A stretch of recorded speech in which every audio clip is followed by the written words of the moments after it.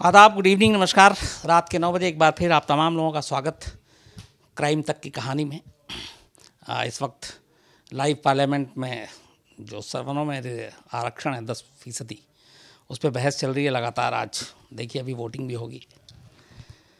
तो खैर ये तो अलग खबर है। आज की खबर जो आज की कहानी है बल्कि यूँ कहें इसकी भी डिमांड बहुत टाइम से आप लोग कर रहे थे। बाबा राम रहीम।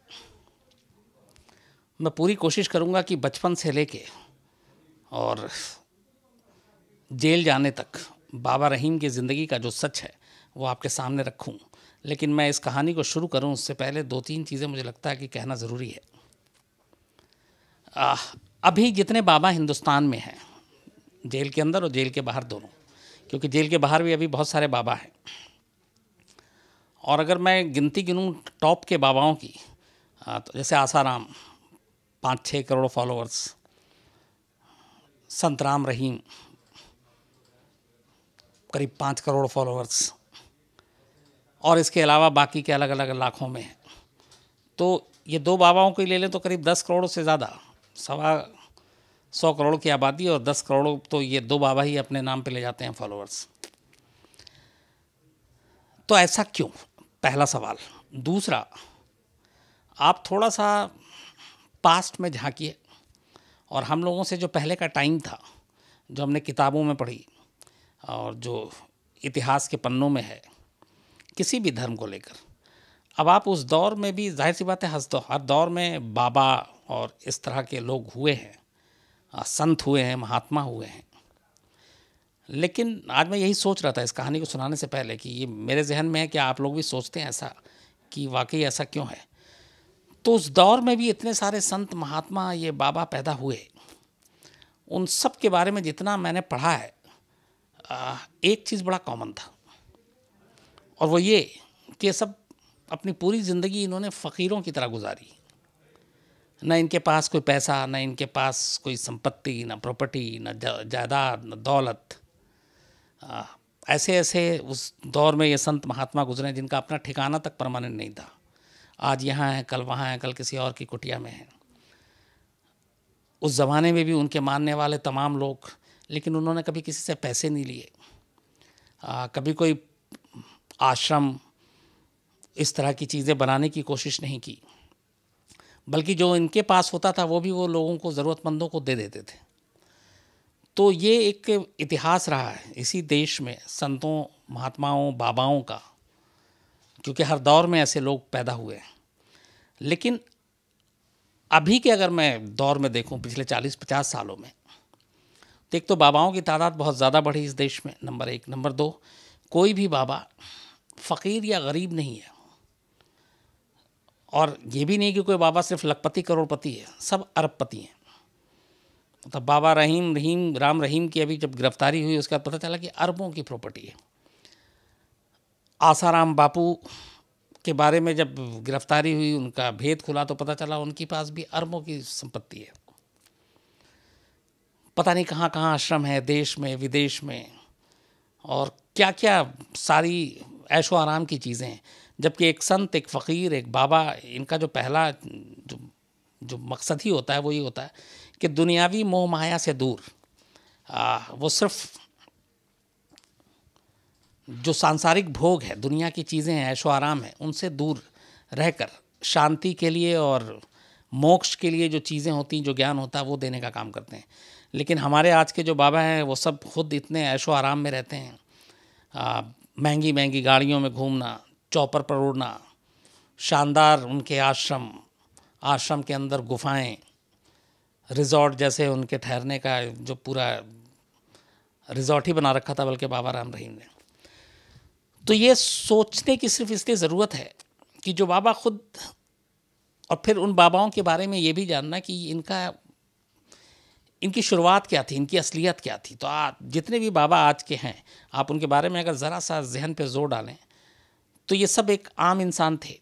बचपन में ऐसे ही और फिर बल्कि कई हैं कोई जलेबी बेचता था कोई शराब की तस्करी करता था कोई यूँ ही कुछ काम करता था। और देखते देखते अचानक वो संत भगवान महात्मा बन गए और उसके बाद अचानक अरबपति बन गए।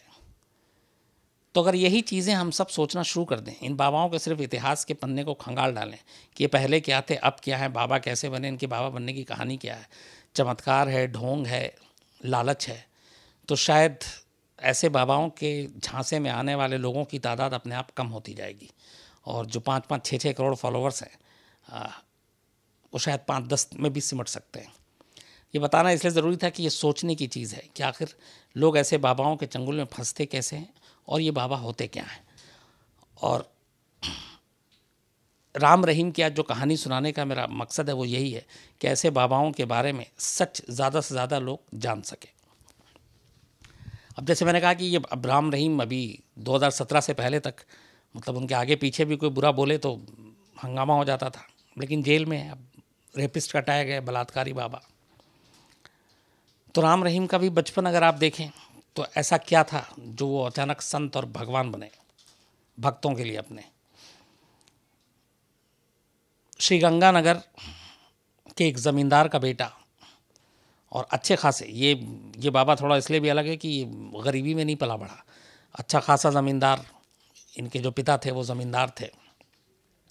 और मगहर सिंह श्री गंगानगर के ज़मींदार मगहर सिंह के घर में एक बेटा पैदा होता है, जिसका नाम गुरमीत रखा जाता है।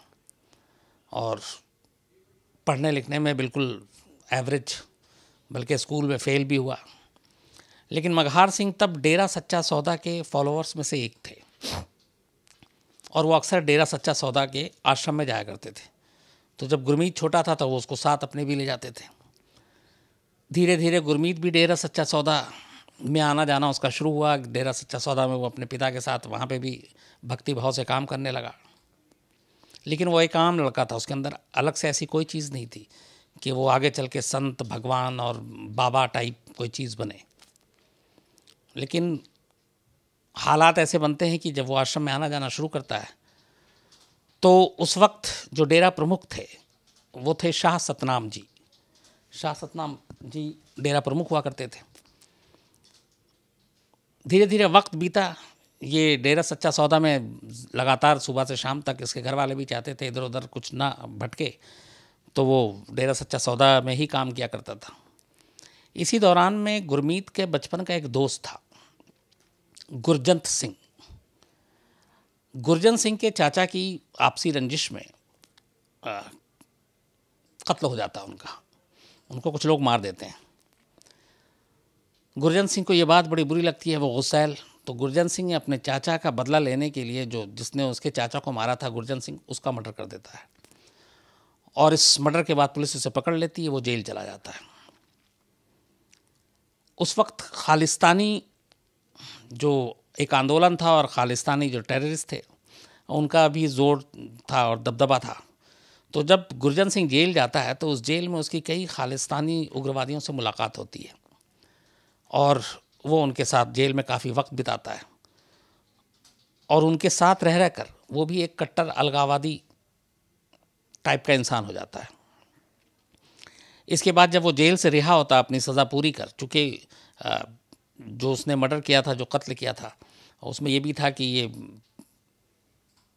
उसका पहला जुर्म था और ये बदला लेने के लिए पारिवारिक झगड़ा तो अदालत ने भी उसको बहुत ज़्यादा सज़ा नहीं दी थी, लेकिन जितनी भी सज़ा थी वो सज़ा काट कर जेल से बाहर आ जाता है। और बाहर आने के बाद वो खालिस्तानी मूवमेंट को ज्वाइन करता है और खालिस्तानी एक तरह से आतंकवादी बन जाता है। और बड़ी तेज़ी से उसका नाम भी होता है। तो इधर वो उसका दोस्त जो गुरमीत का वो एक खालिस्तानी आतंकवादी, उसने बंदूक थाम लिया जेल से आने के बाद। इधर गुरमीत धीरे धीरे डेरा सच्चा सौदा में जवान होने लगता है। और सब कुछ ऐसे ही नॉर्मल चल रहा था। तभी अचानक डेरा प्रमुख जो उस वक्त शाह सतनाम जी थे आ, वो अचानक एक ऐलान करते हैं कि वो अब डेरे का जो नेतृत्व है वो किसी और को सौंपना चाहते हैं और ख़ुद संन्यास लेकर कहीं चले जाना चाहते हैं। तो वो अपना उत्तराधिकारी तय करेंगे। तो उस वक्त कहते हैं कि तीन नाम थे उत्तराधिकारी के लिए। और उन तीन में से एक नाम गुरमीत का था, लेकिन गुरमीत का नाम तीसरे नंबर पे था, क्योंकि उससे जो दो बाकी उत्तराधिकारी थे, वो शाह सतनाम के साथ बहुत पहले से थे और उनका पूरा आचरण, उनका व्यवहार भी उस तरीके का था कि लोगों को लगता था कि डेरा सच्चा सौदा का अगला प्रमुख उन्हीं दोनों में से कोई एक होगा। लेकिन हैरत अंगेज तौर पर शाह सतनाम जो डेरा प्रमुख के उस वक्त प्रमुख थे, वो उन दोनों को दरकिनार कर गुरमीत को डेरा सच्चा सौदा का अपना उत्तराधिकारी डिक्लेयर कर देते हैं। और ये बात तमाम लोगों को उस वक्त चौंकाती है। जितने भी डेरा सच्चा सौदा के समर्थक थे, उनके अनुयायी थे। उसके बाद ये बात दबी ज़ुबान में उस वक्त उठी और वो आज तक चल रहा है। वो ये कि जब डेरा प्रमुख शाह सतनाम ने ऐलान किया कि वो संन्यास लेना चाहते हैं और अपना उत्तराधिकारी बनाना चाहते हैं, उसी वक्त गुरमीत ने अपने उस बचपन के दोस्त गुरजन सिंह, जो अब आतंकवादी बन चुका था, उसका इस्तेमाल किया। और उस गुरजन सिंह के ज़रिए शाह सतनाम डेरा प्रमुख को धमकाया गया। उनके आसपास के करीबी लोगों को धमकाया गया। उन्हें बुरे अंजाम की धमकी दी गई और कहा गया कि उत्तराधिकारी जो बनाना है तो वो सिर्फ़ और सिर्फ़ गुरमीत बनेगा। और उसी दबाव में और उसी डर की वजह से कहते हैं कि गुरमीत को डेरा सच्चा सौदा का प्रमुख बनाया गया। और उसको प्रमुख बनाते ही शाह सतनाम ने गुरमीत का फिर नामकरण किया और उसका नाम पड़ा हुजूर महाराज गुरमीत राम रहीम इंसान। तो अब गुरमीत से राम रहीम नाम पड़ा। हालाँकि ये जो गुरजन सिंह की मैंने पूरी कहानी आपको बताई, ये सब, जो भी डेरा सच्चा सौदा से जुड़े हुए हैं उस ज़माने से, वो ये सारी चीज़ें मानते हैं, सब मानते हैं। लेकिन इसको लेकर पुख्ता तौर पर राम रहीम के ख़िलाफ़ कभी कोई ठोस सबूत सामने नहीं आया। लेकिन कहते हैं कि ये कहानी उतना ही सच है और राम रहीम धोखे से डराकर, धमकाकर उसने ये डेरा सच्चा सौदा के प्रमुख की कुर्सी हटिया हत्याई थी। खैर, इसके बाद अब राम रहीम डेरा सच्चा सौदा का प्रमुख बनता है, कम उम्र में। और उससे पहले ऑलरेडी उसकी शादी हो चुकी थी। उसकी दो बेटियाँ और एक बेटा, पत्नी घर में। उसके बाद जब ये प्रमुख बनता है तो ये सारे परिवार के लोगों को अपने आश्रम में, अपने साथ रखता है, राम रहीम। जबकि एक संत के लिए यह है कि परिवार और इन चीज़ों से दूर रहते हैं। शुरू में उसने छुपाने की भी कोशिश की थी लेकिन ये बात छुपी नहीं क्योंकि वह लगातार पहले से ही आ रहा था वहाँ पर। और इसके बाद धीरे धीरे अब बाबा राम रहीम अपना साम्राज्य कायम करना शुरू कर देता है। लेकिन इससे पहले के जो डेरा सच्चा सौदा के दो तीन प्रमुख हुए थे जो आखिरी शाह सतनाम जी महाराज भी जो राम रहीम से पहले थे ये लोग इन लोगों का मकसद था डेरा सच्चा सौदा के ज़रिए गरीबों का दबे कुचले लोगों की मदद करना। आ, उन्हें मोक्ष का ज्ञान देना उन्हें धर्म का ज्ञान देना नशे से उनको दूर रखना तो ये सारे सामाजिक चीज़ें जो बेसिक चीज़ें थी वो तब डेरा प्रमुख के जो प्रमुख हुआ करते थे उन लोगों का मेन टारगेट यही था। लेकिन राम रहीम के आने के बाद डेरा प्रमुख की पूरी तस्वीर बदल गई। आ, राम रहीम ने एक तो बाबाओं के बारे में जो सोच और बाबाओं के बारे में जो एक तस्वीर हम सभी हिंदुस्तानियों की नज़रों में होती हैं, वो पूरी तरह से बदल कर रख दी बाबा का मतलब होता है हमारे यहाँ की बाबा जैसा दिखना, अब बाबा जैसा दिखने का मतलब है कि वही धोती या फिर जो गेरुआ वस्त्र होता है, वो इस तरह की चीज़ें लेकिन एक बाबा चमकीली पैंट शर्ट पहने, एक बाबा टी शर्ट पहने, एक बाबा कैप लगाए, एक बाबा रेबैन और उससे महँगे महँगे गॉगल्स पहने, शानदार जूते महँगी गाड़ियों के काफ़िले के साथ चलना, डांस करना, गाना गाना फाइट करना। मतलब जो फिल्मी पर्दे पर होता है, जो एक हीरो जो अलग अलग किरदार या कैरेक्टर को प्ले करता है, वो सारी चीज़ें असल ज़िंदगी में एक बाबा करे। ये हिंदुस्तान में बाबागिरी को लेकर पहली बार ये तस्वीर देश के सामने आई और इस तस्वीर को पेश किया राम रहीम ने, जो डेरा सच्चा सौदा के प्रमुख और उन्होंने पूरी बाबागिरी की सोच, हुलिया, तस्वीर सब बदल कर रख दी।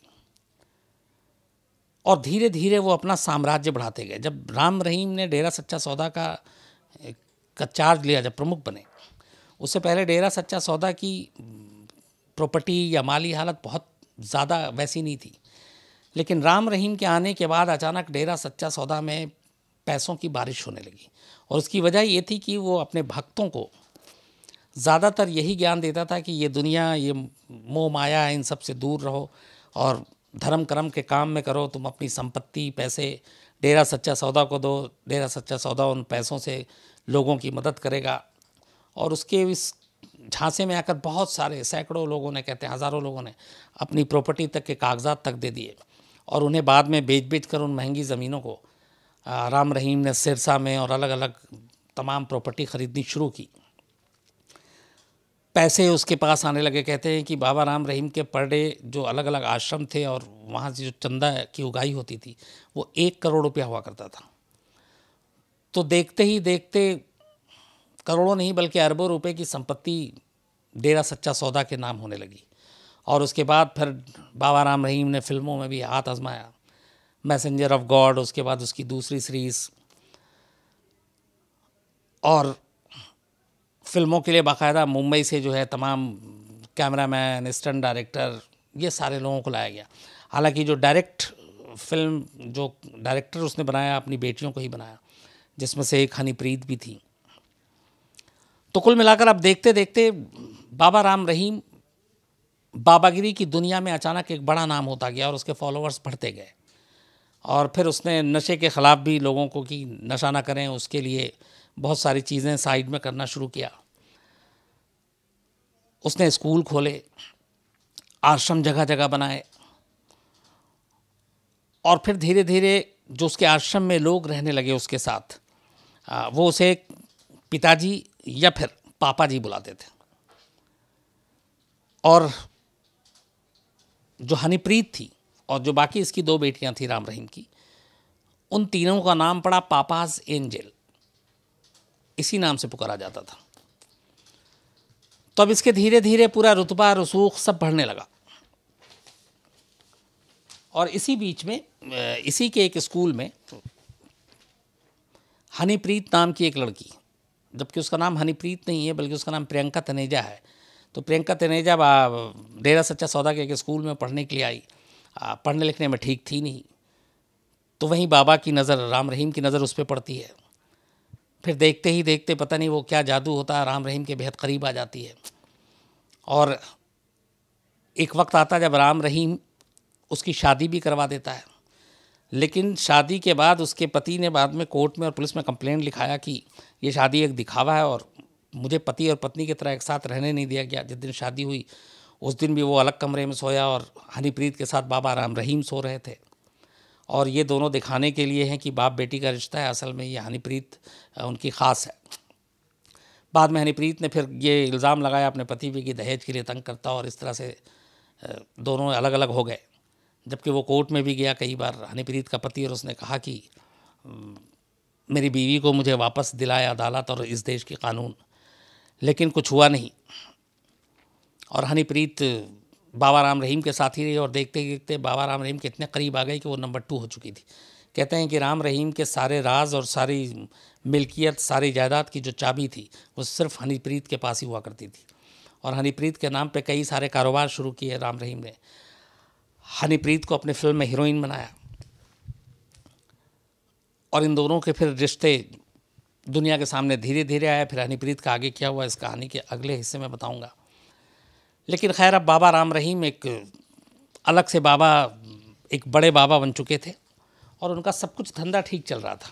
इस दौरान उन पर कई इल्ज़ाम भी लग रहे थे, लेकिन कद इतना बढ़ चुका था कि बाबा राम रहीम का जो रसूख और असर था वो ये था कि हरियाणा में ख़ास तौर पर जब चुनाव होता था तो बाबा राम रहीम बाकायदा पार्टी के नाम पे फतवा जारी करते थे और कहते थे कि जिस पार्टी के सपोर्ट में उन्होंने जारी किया, वो कैंडिडेट जीतता था। तो कभी बीजेपी, कभी कांग्रेस, उसके लिए वो फतवा जारी करते थे और हरियाणा में आराम से पंद्रह से बीस सीटों पर असर पड़ता था बाबा राम रहीम के फॉलोअर्स की वजह से। तो नेताओं का भी उनके दरबार में आना जाना शुरू हुआ। चीफ मिनिस्टर मिनिस्टर वो माथा टेकने आते थे बाबा राम रहीम के पास। तो बाबा को अब लगने लगा कि उनके पास बे इंतहा पावर है, शक्ति है, उनका कोई बिगाड़ नहीं सकता। अब उन्होंने अपना इसी तरीके से जब एक गुरूर और घमंड आता है तो फिर इंसान इंसान नहीं रहता। और राम रहीम इंसान, सिर्फ़ नाम के इंसान रह गए उसके बाद वो इंसान नहीं रहा और उन्होंने तमाम बुराइयाँ करनी शुरू कर दी।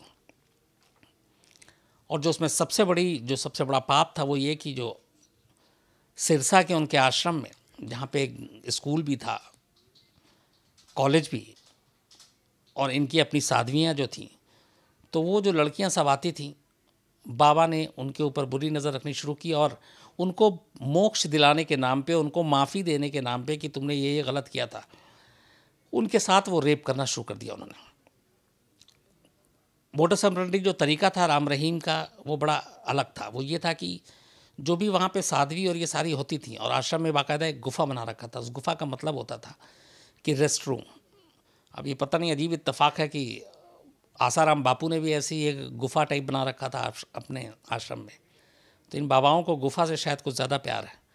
तो खैर, बाबा राम रहीम जिस साध्वी के ऊपर नज़र पड़ती थी तो ये रात को अक्सर अपने जो बाकी लोग हैं, उनके ज़रिए उसको अपने गुफा तक बुलाता था। और ये कहता था कि तुमने ये ये पाप किया है, लेकिन आप, आज तुम्हारा पाप दूर हो जाएगा। और तुम तन, मन, धन सब मुझे समर्पित कर दो। और इसके बाद कुछ मान जाती थी, कुछ नहीं मानती थी तो उनसे ज़बरदस्ती करता, फिर धमकाता कि तुम मेरे पास इतने पैसे हैं, इतने चंदे आते हैं।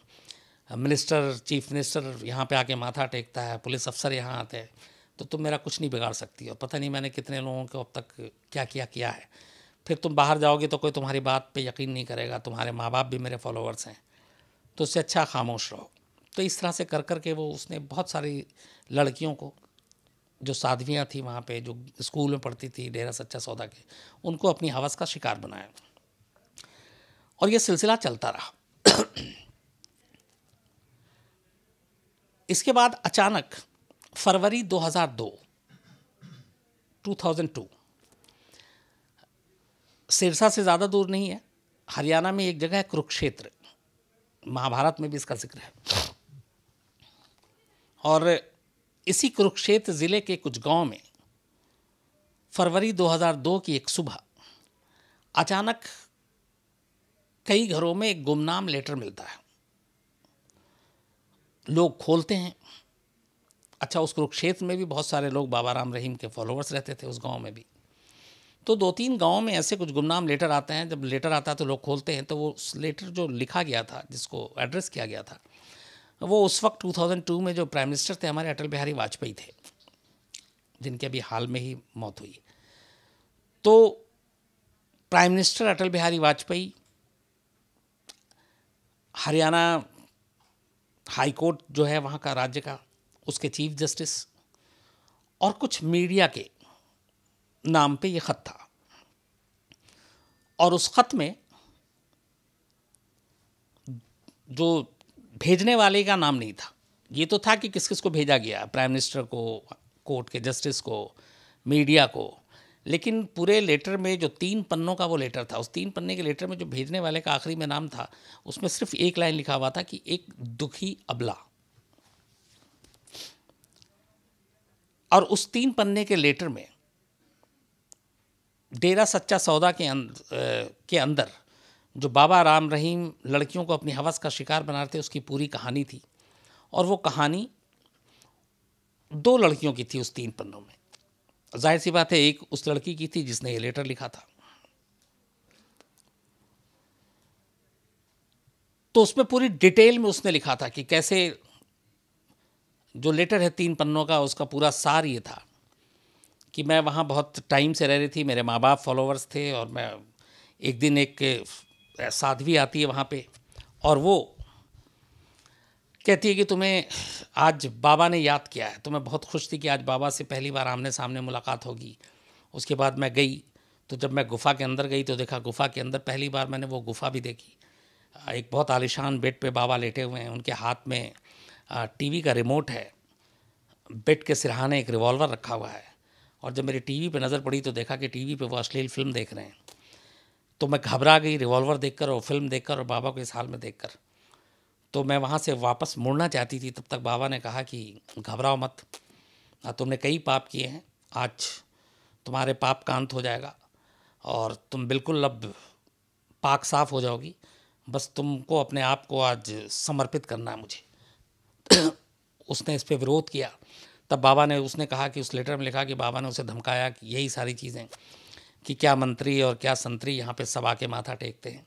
और तुमने अगर ये बात बताई बाहर जाके तो कोई मानेगा भी नहीं और मेरा कोई कुछ बिगाड़ नहीं सकता।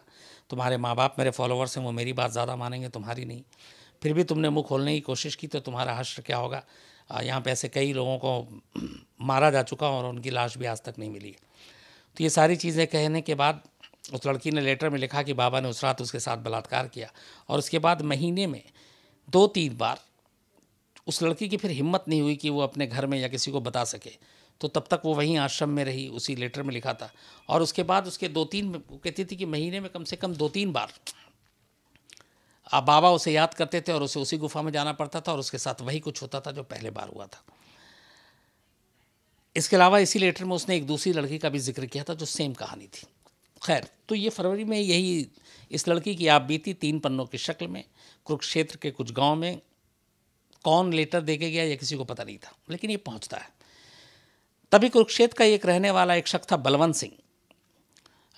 जो उस इलाके में एक छोटे मोटे वो नेतागिरी टाइप करता था और लोगों की मदद करता था। तो एक लेटर बलवंत सिंह के हाथ भी लगा। बलवंत सिंह ने उस लेटर की फ़ोटो कॉपी करा दी और उस फ़ोटो कॉपी कराने के बाद उसने आसपास के इलाकों में भी उसको बंटवा दिया, बलवंत सिंह ने। तो ये लेटर बढ़ते बढ़ते हिसार पहुँच गई कुरुक्षेत्र से अब। और हिसार में एक छोटा सा अखबार निकलता है। उस अखबार ने ये पूरी चिट्ठी छाप दी। जब ये लेटर छपा और उसके बाद डेरा सच्चा सौदा के लोगों ने पता किया, क्योंकि अब डेरा सच्चा सौदा तक भी ये लेटर की बात आ गई तो पता चला कि लेटर गुमनाम किसने भेजा, ये तक तो ये तो नहीं मालूम, लेकिन उस लेटर की फ़ोटो कॉपी कराकर आसपास के इलाकों में बांटने वाले का नाम बलवंत सिंह है। तो डेरा सच्चा सौदा के कुछ समर्थकों ने बलवंत सिंह पर हमला किया, फिर वो हमले में बचा, लेकिन घायल हुआ, उसके बाद वो गायब हो गया अपनी जान बचाने के लिए। बाद में ये खैर विटनेस होता है। तो ये अब लेटर बट गया था, लोगों तक ये बात पहुँच गई थी, अखबार में भी ये खबर आ गई। अखबार में खबर आई तो पहली बार डेरा सच्चा सौदा में भी थोड़ी हड़कम पहुँचा पाँच मई 2002 को, ये फरवरी की बात थी जब लेटर बटना शुरू हुआ था। मार्च, अप्रैल, दो महीने के बाद फिफ्थ में 2002 Punjab and Haryana high court में एक बंद लिफाफे में यही लेटर पहुँचता है। Punjab and Haryana high court में। और वो वहाँ के चीफ जस्टिस के नाम पे था। चीफ जस्टिस ने उस लेटर को खोला, पढ़ा। पढ़ने के बाद उन्होंने उसको साइड नहीं रखा, बल्कि उस लेटर को पढ़ने के बाद बाकायदा उसको डिस्ट्रिक्ट एंड सेशन जज, जो हिसार, जिस, जहाँ पे ये डेरा सच्चा सौदा जिस जुरिस्डिक्शन में आता था आ, तो डिस्ट्रिक्ट एंड सेशन जज जो थे उस वक्त वहाँ के आ, वो थे जज एम एस सुलर। तो Punjab and Haryana high court के चीफ जस्टिस ने डिस्ट्रिक्ट सेशन कोर्ट को वो लेटर भेजा और इस आदेश के साथ इस ऑर्डर के साथ कि वो इस मामले की इस ख़त की इस चिट्ठी की सच्चाई का पता लगाएँ और इसको पता लगाने के बाद अपनी report Punjab and Haryana high court को दें। ये उन्होंने खुद ही एक गुमनाम लेटर मिलता है और उस लेटर को पढ़ने के बाद कोई इसमें अभी तक कंप्लेंट सामने नहीं आया। लेकिन कोर्ट खुद से इसमें आगे बढ़ता है और डिस्ट्रिक्ट सेशन जज को ये ज़िम्मेदारी देता है कि इस मामले की जाँच करें। अब डिस्ट्रिक्ट जो सेशन जज थे एम एस सुलर साहब, वो इसकी तहकीकात करते हैं। और शुरुआती तहकीकात तहकीकात के बाद वो अपनी रिपोर्ट जो है, वो पंजाब एंड हरियाणा हाईकोर्ट को सौंप देते हैं। और उस रिपोर्ट में ये कहते हैं कि जो लेटर में लिखा है उस इल्ज़ाम को पूरी तरह से नकारा नहीं जा सकता इसमें कुछ सच्चाई है। बट साथ में ये भी कहा कि डेरा के अंदर और ख़ासतौर पर जिस हॉस्टल में जहाँ लड़कियाँ रहती हैं वहाँ तक पहुँचना बड़ा मुश्किल है। आ, उन्होंने तमाम कोशिश की। सोचिए आप डिस्ट्रिक्ट सेशन जज इनकी रिपोर्ट है कि राम रहीम के डेरा सच्चा सौदा के अंदर हॉस्टल के अंदर जाना वो आसान काम नहीं है उन्हें तमाम कोशिश के बावजूद भी उन्हें इजाज़त नहीं मिली। लेकिन इस मामले को नकारा नहीं जा सकता। इसलिए उन्होंने अपनी सिफारिश की डिस्ट्रिक्ट एंड सेशन जज ने कि इस मामले की जाँच किसी सेंट्रल एजेंसी से, जैसे सीबीआई से कराई जाए क्योंकि इसमें कहीं ना कहीं कुछ है, गड़बड़। तो डिस्ट्रिक्ट एंड सेशन जज ने इसकी सिफारिश कर दी। इस सिफारिश के बाद 24 सितंबर 2002 को 24 सितंबर 2002 Punjab and Haryana high court ने सिरसा के डिस्ट्रिक्ट सेशन जज की इस सिफारिश को मानते हुए 24 सितंबर को एक ऑर्डर पास करते हैं और कहते हैं कि इस मामले की सीबीआई जाँच फ़ौरन शुरू हो। 24 सितंबर 2002 तो पंजाब और हरियाणा हाई कोर्ट ये ऑर्डर देता है कि इस मामले की सीबीआई जाँच हो। इस फैसले के बाद 12 सितंबर 12 दिसंबर 2002 को सीबीआई ने चंडीगढ़ में केस दर्ज किया और जाँच शुरू कर दी। अब लेकिन जाँच आसान नहीं थी क्योंकि सामने बाबा राम रहीम था। बाबा राम रहीम जिसके करोड़ों फॉलोवर्स, बाबा राम रहीम जिसके डेरे में, जिसके डेरा सच्चा सौदा में घुसना मतलब आप समझिए कि सरहद पार किसी दूसरे मुल्क में घुसना, ये जलवा था। तो जैसे ही सीबीआई ने मुकदमा दर्ज किया डेरा सच्चा सौदा तक ये खबर पहुँची। बाबा राम रहीम ने अपने असर का इस्तेमाल किया अपने रसूख का इस्तेमाल किया और डेढ़ साल तक सीबीआई की इस जाँच को रुकवा दिया। आ, इस पर स्टे ऑर्डर ले लिया कोर्ट से। तमाम चीज़ें देकर कि ये दुश्मनों की साजिश है बदनाम करने की डेरा सच्चा सौदा को और ये सारी चीज़ें। तो डेढ़ साल तक सीबीआई ने इस मामले की जाँच नहीं की ठंडे बस्ते में पड़ी रही। लेकिन इसके बाद डेढ़ साल के बाद फिर सीबीआई ने इसमें कोशिश जारी रखी। और इस कोशिश के तहत अब जाँच जो डेढ़ साल के बाद दोबारा शुरू हुई सीबीआई ने डेरा सच्चा सौदा में अलग अलग वक्त में रहने वाली 200 महिलाओं और लड़कियों से पूछताछ की। एक तो बड़ा मुश्किल ये था कि उनमें से बहुत सारी लड़कियाँ जो थीं, वो निकल कर बाहर आई, उनकी शादी हो गई। तो अब घर वालों को ये डर लगने लगा कि अगर ये पता चले कि राम रहीम डेरा सच्चा सौदा में इन लड़कियों के साथ भी ऐसा कुछ बलात्कार हुआ है तो उनकी शादीशुदा ज़िंदगी बर्बाद हो जाएगी। तो बहुत सी लड़कियाँ, महिलाएँ इस शर्म और इस डर की वजह से कि जो अभी उनकी ज़िंदगी जी रही है शादीशुदा, उसमें भूचाल आ जाएगा। उन्होंने खामोश रहना बेहतर समझा और वो सीबीआई को उन्होंने 200 जो लड़कियाँ थी, बयान तो दिया, लेकिन गवाही के लिए और बाकी प्रूफ के लिए फिर उन्होंने बाद में इनकार कर दिया, क्योंकि उनका कहना था कि मेरी शादीशुदा ज़िंदगी, इससे फ़र्क पड़ सकता है। तो खैर 200 लड़कियों से पूछताछ के बाद बाकी लड़कियों ने इसी वजह से पीछे हट गई। लेकिन 18 लड़कियों ने फिर भी हिम्मत करके सामने आई और उन्होंने बयान दिया सीबीआई को। 18 लड़कियों ने 200 में से। अब सीबीआई के पास केस मज़बूत था अठारह लड़कियों का बयान था। लेकिन जब मुकदमे की कार्रवाई शुरू हुई तो इन अट्ठारह में से सोलह लड़कियाँ भी पीछे हट गईं, क्योंकि उनमें से भी कुछ का तब तक शादी वादी और रिश्ते तय हो गए थे। तो उन्होंने कहा कि बदनामी होगी और हमारी ज़िंदगी हराम हो जाएगी। तो इसलिए हम इस कानूनी पचड़े में नहीं पड़ेंगे। तो 200 लड़कियों के से बात पूछताछ हुई। 18 लड़कियों ने सीबीआई को सामने आकर बयान दिया, लेकिन कोर्ट में पहुँचती हैं सिर्फ़ दो लड़कियाँ। और वो बयान देती हैं। अब उन दो लड़कियों के बयान के आधार पर सीबीआई ने जुलाई 2007 में बाबा राम रहीम के खिलाफ आईपीसी की धारा 376 रेप 506 यानी आपराधिक साजिश के तहत मामला दर्ज किया और चार्जशीट दाखिल कर दी। ये बात 2007 की है, जुलाई की। तो बाबा राम रहीम पे अब ऑफिशियली रेप और आपराधिक साजिश, इसका मुकदमा दर्ज हो चुका था। 6 सितंबर 2008 को स्पेशल सीबीआई कोर्ट ने बाबा राम रहीम के खिलाफ जो सीबीआई ने चार्जशीट दाखिल की थी, उसको एक्सेप्ट कर लिया। अभी तक चार्जशीट सीबीआई की थी, लेकिन उस चार्जशीट को कोर्ट चाहती तो रिजेक्ट कर सकती थी, लेकिन स्पेशल सीबीआई कोर्ट ने एक साल के अंदर अंदर इस चार्जशीट को एक्सेप्ट किया और सीबीआई को इजाज़त दी कि वो मुकदमे को आगे बढ़ाए। अब इस चार्जशीट के तहत मिनिमम जो सज़ा थी वो सात साल, दस साल चुकी है। उस वक्त दो टू थाउज़ेंड टू वाला कानून इस पर लागू होना था। तो खैर, इसके बाद अब चार्जशीट हो गई। मुकदमे की 2007-8 में अब कार्रवाई की भी इजाज़त दे दी गई। और ये मुकदमा चलता रहा। 2008 से 2017 आ गया। मतलब करीब सात साल सात साल भी नहीं है। 2017 नौ साल। 2008 में मुकदमे की कार्रवाई शुरू हुई और 2017 में तमाम गवाहों को, तमाम सबूतों को देखने के बाद जो पंचकुला की अदालत, जहाँ पे ये मुकदमे की कार्रवाई चल रही थी 25 अगस्त 2017 का दिन मुकर्र करती है अपना फैसला सुनाने के लिए।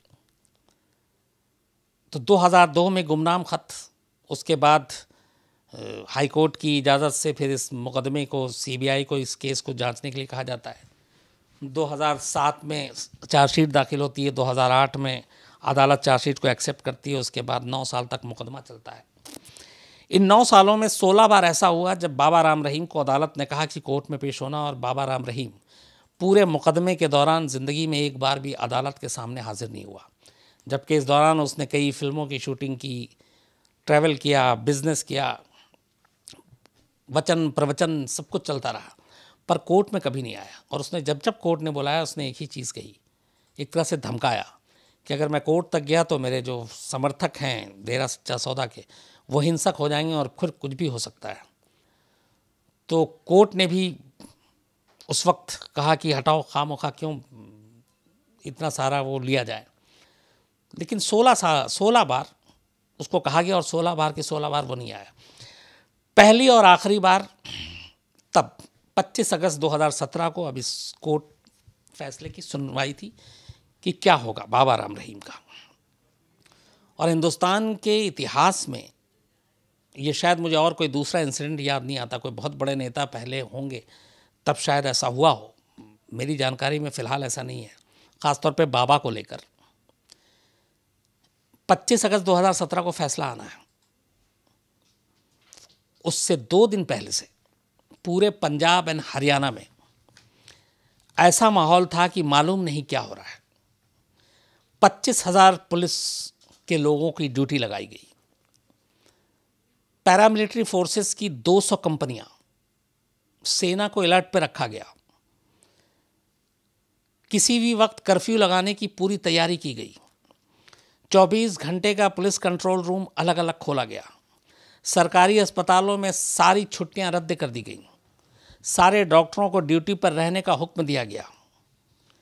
हरियाणा और चंडीगढ़ जाने वाली जितनी भी ट्रेनें और बस बहत्तर घंटे के लिए, तीन दिन के लिए बंद कर दी गई। पंचकुला, सिरसा, भटिंडा, मोगा, मुक्सर, पटियाला, मालवा रीजन चंडीगढ़, यहाँ बाकायदा फ्लैग मार्च चल रहा था। इंटरनेट सेवा पूरी तरीके से बंद। अब आप सिर्फ़ ये सोचिए कि एक बाबा को सिर्फ़ कानून के चौखट तक लाने के लिए दो दो राज्य की सरकारें और उनके पसीने छूट रहे थे। मतलब पूरी पुलिस फोर्स, पैरामिलिट्री फोर्स झोंकने के बाद भी सेंटर से इन्होंने सेना भी मांगी कि पता नहीं क्या हो जाएगा, बाबा राम रहीम और उनके समर्थक क्या कर देंगे।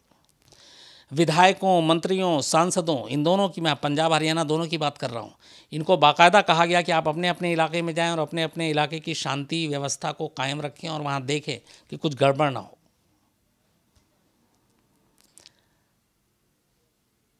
इतनी भारी तैयारी। मतलब एक बाबा जिसके ऊपर रेप का इल्ज़ाम है, जिसके ऊपर रेप का फैसला आना और जो बाबा खुद अपनी फ़िल्मों में ये कहता है कि कानून से ऊपर कोई नहीं है और उसी बाबा को कानून के चौखट पर आना, उसके बावजूद आप ये देखिए कि दो दो राज्यों की इतनी बड़ी तैयारी और उसके बाद किसी तरह से डर डर कर 25 अगस्त की तारीख आती है। लेकिन उससे पहले इन तमाम बंदोबस्त के बावजूद पंचकुला में जहाँ पे ये फैसला आना था हज़ारों की भीड़, देरा सच्चा सौदा के समर्थक के लोग पहुँच चुके थे। जैसे ही दोपहर के बाद फैसला अदालत का आता है कि बाबा राम रहीम दोषी हैं, उस दिन कितनी सज़ा होगी ये नहीं बताई गई थी, बस दोषी दोषी का मतलब ही है कि रेप में अब वो गए जेल। हिंसा शुरू। और ये हिंसा उस रात तक, अगले दिन सुबह तक। इतनी तैयारी के बावजूद आगजनी सरकारी गाड़ियों को आग लगाना मतलब करोड़ों की संपत्तियाँ खाक हो गईं। और सबसे बड़ी बात कि 38 लोगों की जाने चलेगी 38 तो आप सोचिए, एक बाबा जो रेप का जिसके ऊपर इल्ज़ाम है, जिसको रेप के लिए सज़ा हुई है, उसके लिए 38 लोगों की जानें चली गई। और ना मालूम कितने, कई सौ करोड़ की संपत्तियाँ राख हो गई। और तो और, हालात ये थे कि उस बाबा को वहाँ से फिर सड़क के रास्ते जेल तक ले जाना मुश्किल था। तो बाकायदा ऐसे बलात्कारी बाबा, ऐसे जो दोषी बाबा जिसको ऑलरेडी सज़ा हो गई, उसको मजबूरन सरकार को उड़न खटोले में, यानी चौपर में, हेलीकॉप्टर में बैठाकर, पंचकुला से उड़ाकर, रोहतक जेल तक लाया जाता है।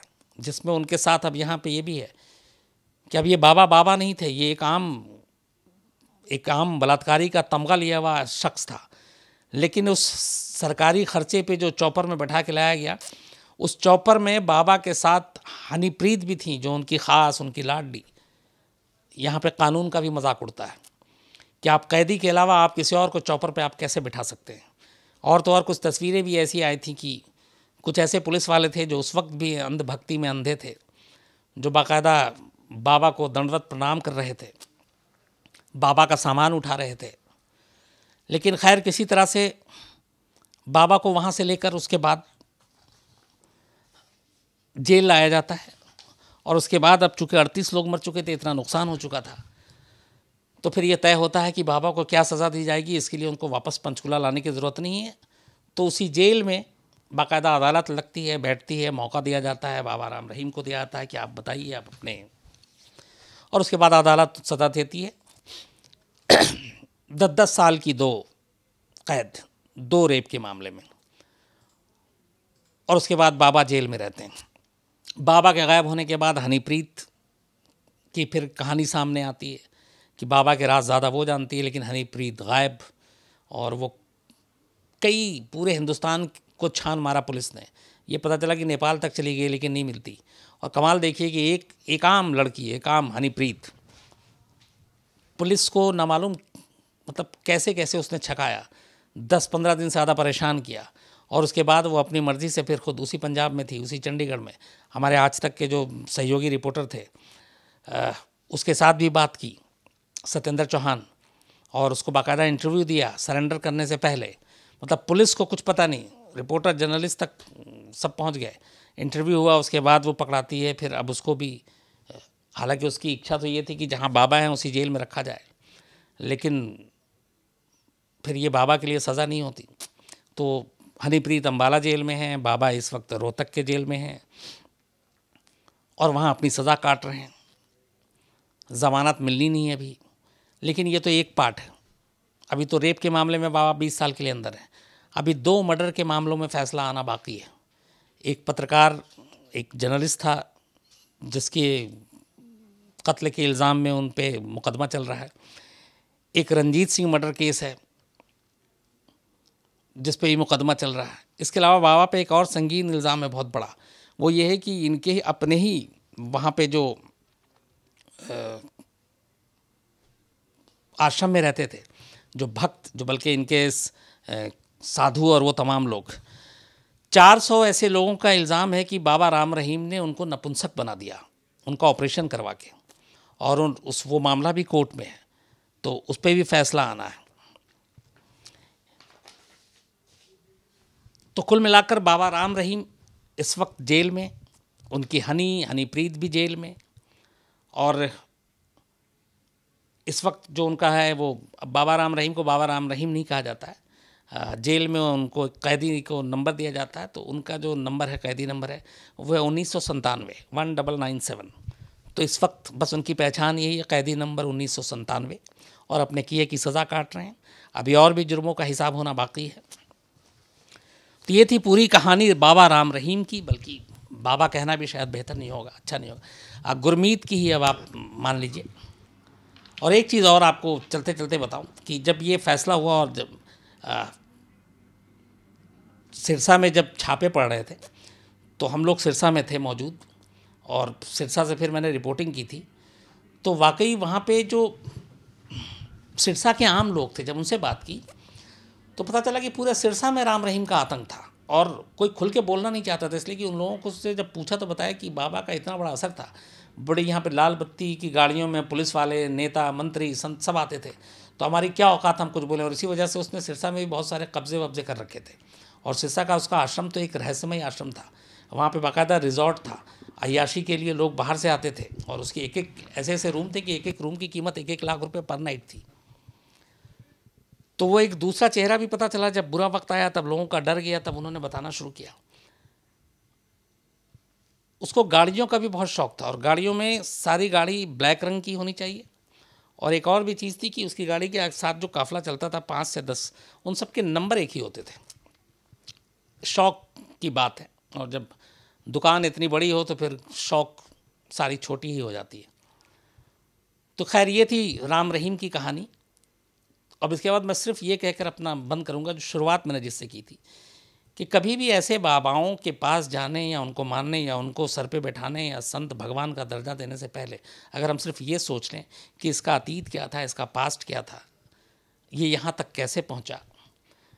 और आप सिर्फ़ उसके इस चीज़ पे ही नज़र डाल लेंगे कि आज अचानक ये गरीबी से उठा और आज अचानक अमीर। तो एक बाबा को पैसे, दौलत ऐश, आराम, इसकी क्या ज़रूरत है? वो तो सांसारिक मोह और इन सारी चीज़ों से दूर होना चाहिए, जो पुराने ज़माने में फ़कीरों का और बाबाओं का जो अंदाज़ हुआ करता था, जिनके अपने पास कुछ नहीं होता था। तो जहाँ हम ये सोचना शुरू कर देंगे, शायद हमारी आँखें खुल जाएँ और हम इस अंधभक्ति में, अंधविश्वास में न पड़ें, और बहुत से लोग हैं, जो अपना सब कुछ बर्बाद कर दिया ऐसे पाखंडी बाबाओं के लिए, वो बच जाएँगे। अब मैं कहूँगा कि बस कुछ सवाल ज़रा बता दो, क्योंकि नौ पैंतालीस हो गया। आ, सर आफ्ताब अंसारी हैं। हाँ। वो बोल रहे हैं कि सर जब तक इंडिया में अंधश्रद्धा रहेगी हम्म। तब तक ऐसे पाखंडी बाबाओं की दुकान चलती हाँ बिल्कुल आफ्ताब साहब मैंने शुरू में ही कहा कि ये मैं हमेशा पहले भी कहता रहा हूँ कि बाबाओं को मैं कम कसूरवार मानता हूँ। अंधभक्ति को जो मानते हैं जो अंधविश्वास करते हैं मुझे लगता है वो ज़्यादा जिम्मेदार है। सर एक रितेश हैं। हम्म। वो बोल रहे हैं कि सर इनको ना इनको राम नहीं राम रहीम नाम से नहीं बुलाना चाहिए। क्योंकि राम हिंदू धर्म के हैं और रहीम मुसलमान, और ये दोनों धर्म बहुत पवित्र हैं, ऐसे घिनौने इंसान को ये नाम नहीं देना चाहिए। देखिए मुझे लगता है कि नाम और इन चीज़ों में कुछ नहीं रखा है। कर्म जो है, उसको लेकर उस पर जितना हम लोगों को उसके ख़िलाफ़ जाना चाहिए, वो ज़्यादा ज़रूरी है। क्योंकि ये ज़ाहिर सी बात है कि कोई किसी का नाम रख के उस दर्जे को हासिल नहीं कर सकता। ये, और ऐसे ही कमज़ोर लोग इन नाम का भी जो है वो सहारा लेते हैं कई बार। तो मैं भी सहमत हूँ आपसे। सर चंद्र चंद्रेश हैं। वो हम्म। बोल रहे हैं कि हनीप्रीत को क्या पुलिस का सपोर्ट था? राम रहीम के हर महकमे में भक्त थे। पुलिस में भी पॉलिटिक्स में भी। तो ज़ाहिर सी बात है ये ये उंगलियाँ उठी थी उस वक्त की। आ, कुछ पुलिस वाले भी लगातार उसकी हेल्प कर रहे थे। सर शीबा शीबा हैं हम्म। वो बोल रहे हैं कि लोग भगवान से ज़्यादा क्यों इन जैसे एजेंट लोगों को मानते हैं जो इतनी बकवास करते हैं? अंधविश्वास और कुछ नहीं। यही वजह है कि लोग इन चक्करों में पड़ते हैं। सर रविंदर सिंह है वो हम्म। बोल रहे हैं हम सब आस्था के नाम पे इन बाबाओं से ठगते रहेंगे। इंसान भगवान को माने मानेगा नहीं लेकिन ऐसे बाबाओं को मानता रहेगा। सरकार के लिए सरकार को इन सब के लिए क्या करना चाहिए? देखिए, ये वो बुराई है ये वो बीमारी है जिसमें हम हर चीज़ के लिए सरकार की तरफ़ देखें और उम्मीद करें कि सरकार सब ठीक करेगी वो गलत है। कुछ ज़िम्मेदारी हम लोगों की है। अब मैं अगर आप से कोई उम्मीद रखता हूँ या आप पे अचानक मुझे लगता है कि नहीं यार, आप तो डिफरेंट हैं, आप तो इंसान हो ही नहीं, आप तो फरिश्ता हो, संत हो तो यहाँ पे सरकार पुलिस क्या करेगी? ये तो मेरा विश्वास या मेरा अंधविश्वास है, जो डायरेक्ट मुझसे जुड़ा हुआ है या फिर मैं आपसे जोड़ रहा हूँ। तो कुछ चीज़ें ऐसी होती हैं, कुछ सामाजिक बुराई ऐसी होती है जिसका कानून, सरकार, पुलिस, अदालत, प्रशासन, इससे कोई लेना देना नहीं है। अगर हर इंसान ये असल में होता क्या कि जब हम लोग, मैंने पहले भी कहा कि जब हम इंसान जो है वो हमेशा जब डरा हुआ होता है या परेशान होता है, तब वो ऐसी चीज़ों की तरफ़ भागता है। तब वो भगवान के दर पे जाएगा, तब वो दरगाह जाएगा। जबकि ज़रूरत इसकी नहीं है और इसी वक्त में, ऐसे वक्त में लोग उसका फ़ायदा उठाते हैं नाजायज़। आप ही बताइए हमें से कौन खुशी में कितना है? किसी भगवान के पास किसी बाबा के पास संत के पास कौन जाता है? याद भी नहीं करते। हैं लेकिन जहाँ दुख मुसीबत ये सब चीज़ें आती हैं हम सब दौड़े जाते हैं। और ऐसे बाबा इन्हीं डर को दिखा दिखा कर लोगों को अपने झांसे में लेते हैं। सर विष्णु है। वो बोल रहे हैं पंचकुला में जो आगजनी हुई उसे प्रशासन रोक सकती थी लेकिन उन्होंने नहीं रोका और वहाँ पे राम रहीम के समर्थकों को इकट्ठा होने दिया। ऐसा क्यों? ये सबसे बड़ी गलती थी प्रशासन की ऑलरेडी चूँकि धारा 144 भी लगा हुआ था तो आप पंचकुला में लोग इतने कहाँ से आ गए? जबकि आपने सारी नाकेबंदी कर रखी थी, बसेस नहीं चल रही थी, ट्रेन रोक दिया था बहत्तर घंटे के लिए, उसके बावजूद भी लोग पंचकुला में उस अदालत के चारों तरफ़ जमा हो गए। तो ये पुलिस प्रशासन की बहुत बड़ी लापरवाही थी, और सबसे ज़्यादा जो नुकसान हुआ था, वो पंचकुला में ही हुआ था। तो लापरवाही तो थी ये पूरी तरीके से। सर, आदित्य सिंह बोल रहे हैं, इस हिंसा में आज तक की ओबी वैन भी चली थी, और एक किसी को चोट भी लगी थी, वो कौन थे? जी इस जब वहाँ पे ये सब कुछ हुआ था पंचकुला में तो हमारी आज तक की जो ओबी वैन होती है जिस जिससे हम लोग लाइव करते हैं आ, वो उस, उसको नुकसान पहुँचा था। इसके अलावा हमारे कैमरामैन को पत्थर लगा था आकर उसका ये जबड़ा हिल गया था उसका फिर सर्जरी करानी पड़ी। और हमारे रिपोर्टर भी कई उनको भी चोटें आई थी। सर ये सारी चीज़ें अपने पेशे में होती रहती हैं। सर जाला जयेश हैं वो बोल रहे हैं अब राम रहीम के बाद डेरा का प्रमुख कौन है? अभी तो डेरा के सारी चीज़ें कब्ज़े में हैं सीबीआई के और जो उनकी एक प्रवक्ता थी महिला आ, वो वहाँ पे उसको संचालन कर रही हैं। जो राम रहीम की पत्नी हैं जो बेटे हैं एक ही बेटा है वो उसको देख रहा है लेकिन ज़्यादातर चीज़ें जो हैं वो अभी सीज्ड हैं। और चूँकि एक और भी कोर्ट का ऑर्डर था कि जो नुकसान हुआ था बाबा राम रहीम की गिरफ्तारी के वक्त जो आगजनी हुई और उनके समर्थकों ने सब कुछ जलाया था उन सब का जो नुकसान हुआ है वो उसकी जो पैसे हैं उसकी वसूली बाबा राम रहीम के इन पैसों से की जाएगी। तो वो भी अभी चल रहा है वो सारा मामला। सर हसन शेख हैं। वो बोल रहे हैं कि मीडिया के अंदर रिपोर्ट्स आई थी कि हनीप्रीत और बाबा के बीच जो संबंध बताए जा रहे थे इन बातों में कितनी सच्चाई है? आज जो सीबीआई ने सारी चीज़ें दी हैं जो कोर्ट में और जो बयान है विटनेस है उसमें यही कि बेशक अ, 2009 में बाबा रहीम राम रहीम ने हनीप्रीत जो प्रियंका तनेजा हुआ करती थी उसको गोद लिया और उसका फिर नाम हनीप्रीत रखा। और उसने ये कहा था कि ये मेरी बेटी है जबकि ऑलरेडी दो बेटी बा, बाबा की पहले से है। लेकिन इनके रिश्ते जो वहाँ के लोग हैं उनका कहना है कि वो एक बाप बेटी का रिश्ता नहीं था। और उस रिश्ते को कुछ और नाम दिया गया। और जिस तरीके से हनीप्रीत पावरफुल होती गई उसने भी कई लोगों की नज़रें टेढ़ी की। इवन राम रहीम के अपनी पत्नी और घर वाले हनीप्रीत को लेके हमेशा गुस्सा जताया। कि वो राम रहीम को भटका रही है बहका रही है। तो ये सारी चीज़ें थी। सर शानू कुमार हैं। वो बोल रहे हैं लोग आज भी राम रहीम को मानने वाले हैं। क्या उनकी आँख आज भी नहीं खुली है इस इंसिडेंट के बाद? हाँ, उन लोगों को आप क्या बताएँगे? क्योंकि वो बोलते हैं वापिस आके फिर से साम्राज्य हासिल कर शानू जी मैं एक छोटा सा सिर्फ़ एक एग्ज़ाम्पल देता हूँ कि मेरा एक दोस्त है। हाँ, बहुत पहले से राकेश शर्मा। और मैं अक्सर उसके घर आया जा आता जाता रहता हूँ। तो जब अब तो उसने घर बदल लिया है। पहले वो लाजपत नगर में रहता था तो मैं उसके घर जाता था। बड़े अच्छे लोग हैं वो सब। तो उसके जो माँ बाप हैं, मम्मी, पापा दोनों, आसाराम बापू के बड़े ज़बरदस्त सपोर्टर मतलब भक्त। राकेश उतना ज़्यादा नहीं, लेकिन चूँकि घर में बचपन से देखता आया तो वो भी मानने वाला था। तो बाकायदा उनके ड्राइंग रूम में मैंने फ़ोटो देखी, बहुत बड़ी तस्वीर आसाराम बापू की। तो आसाराम बापू के बारे में जो शुरुआती मुझे जानकारी, राकेश के घर से ही मिली थी कि ये एक बापू हैं, इनके बड़े फॉलोअर्स हैं बड़े बड़े लोग जाते हैं। जब आसाराम बापू गिरफ़्तार हुए और रेप वाला मामला सामने आया, उसके बाद मेरी प्रोफेशनल ज़िम्मेदारी थी, मैंने इस पर शो बनाना शुरू किया और उसके घर में सारे लोग चूँकि मैं आज तक में हूँ तो वो शो देखते हैं, आज तक चैनल देखते हैं। तो अचानक जब मैंने आसाराम बापू की खबर दिखानी शुरू की तो वो जो अंकल आंटी हैं, जो बचपन से मेरे दोस्त के माँ बाप वो नाराज़ हो गए और मुझे राकेश से पता चला और वो बल्कि वो भी मुझसे लड़ गया कि क्या तुम बकवास यार दिखा रहा है ये, मेरे घर में बताओ, वो फ़ोटो लगा हुआ, वो कह रहे हैं तुम्हारा दोस्त ऐसे ऐसे कर रहा है। अब मैंने कहा, मैं क्या कर रहा हूँ? इसमें ये पुलिस की है, ये अदालत है, ये मामला है, ये विक्टिम है, ये लड़की है। बट वो मानने को तैयार नहीं थे। शुरू के कम से कम दो तीन महीने। धीरे धीरे करीब साल लगा। साल के बाद उनका ये भूत उतरा आसाराम बापू को लेकर। अब मैं उससे पूछता हूँ, हँसी मज़ाक भी होती है। कहता, नहीं नहीं, अब तो दिमाग से हम लोगों ने निकाल दिया। तो आसानी से नहीं जाते हैं ये बाबा लोग। वही चीज़ राम रहीम की है। धीरे धीरे लेकिन अब लोग मानने लगे हैं। सर शब्बीक रौनक हैं ओमान से ये बोल ये आपको न्योता न्योता दे रहा है कि आप ओमान आइए। और इनका सवाल ये है कि अंधभक्ति सिर्फ़ हमारे देश भारत में है या विदेश में भी इस तरह की अंधभक्ति देखी जाती है? हाँ जी थैंक यू एक तो आपने दावत दी है दूसरी ये अंधभक्ति बाहर में मुझे लगता है कि शायद इस तरह से ये इस लेवल पे नहीं है। है भी कि नहीं ये मुझे इसकी पूरी जानकारी नहीं है। दूसरा बस एक आखिरी चीज़, इसके बाद मैं चूँकि ख़त्म करूँगा।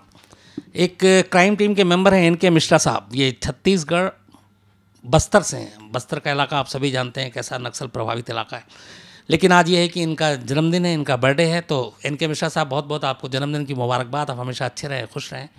और आप लोगों से भी अब कल मुलाकात होगी रात नौ बजे। आज की कहानी में फ़िलहाल इतना ही।